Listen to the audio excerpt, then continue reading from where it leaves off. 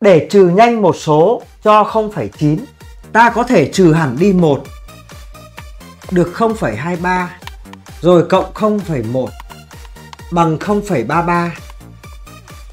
Để trừ nhanh một số cho 1,98, ta có thể trừ hẳn đi 2 bằng 0,34 rồi cộng với 0,02 bằng 0,36.